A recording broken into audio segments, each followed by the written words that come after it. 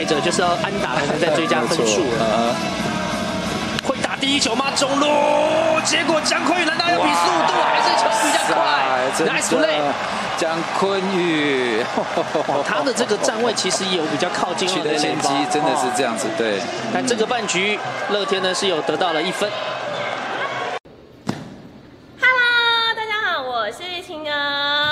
如果不想错过我们精彩的赛事以及我们的精彩片段呢，请记得订阅中信兄弟的官方 YouTube 频道，还有退出。